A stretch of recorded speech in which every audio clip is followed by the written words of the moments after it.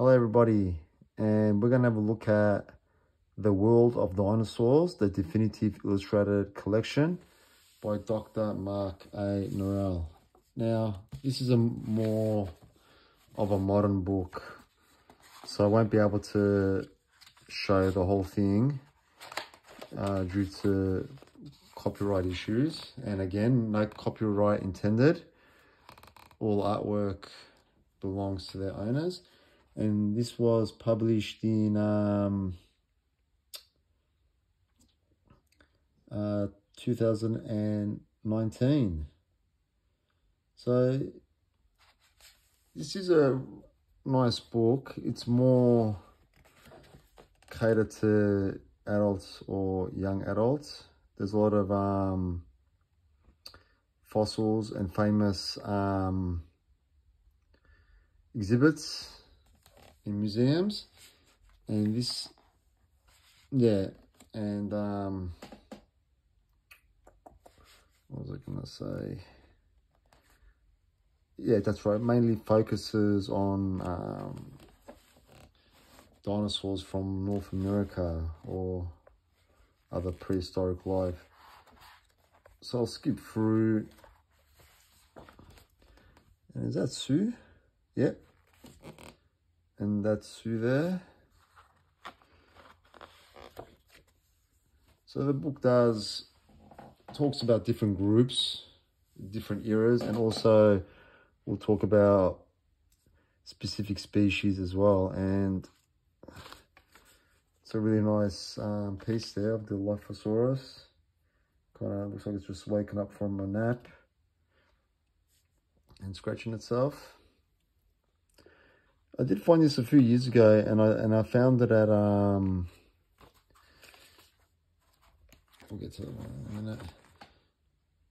And I did find it at a like just a small little bookshop. So I picked it up. I don't usually buy modern books as often. One, there's not as many bookstores around. Obviously, um, I used to like buying books from the book depository, but now that's owned by um, Amazon. So now and again, I'll pick up a modern book, but when I'm usually in the stores or there's like a bookshop, I don't really like what's out there at the moment. But if I see something kind of like this with some nice artwork, some good text and not overly um, digitalized, I'll, I'll pick it up. So just glancing through.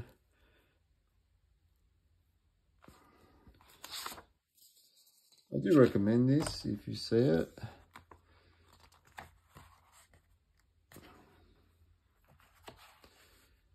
As I said, it's a mix of fossils, real life fossils, exhibits, and some artwork. And I thought I I thought I'd bookmark this page because it's quite interesting how Sauropelta was discovered in the in the mine, and yeah, it's a good good story with with this with this um, specimen.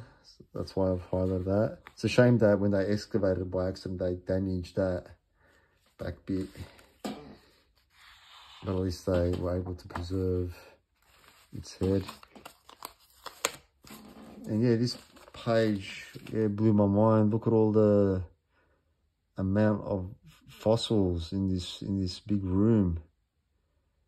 And he's working on that, it looks like, and that's going to take forever. But look how many fossilized specimens. So many.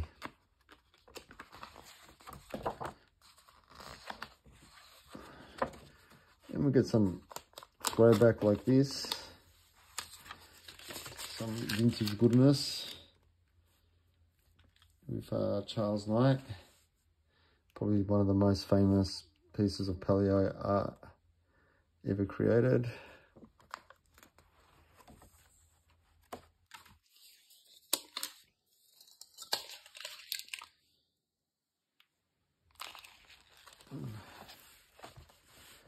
So yeah, overall, I didn't want to show too much, but here's a little bit about um, Dr. Mark A. Norell if you want to have a little read.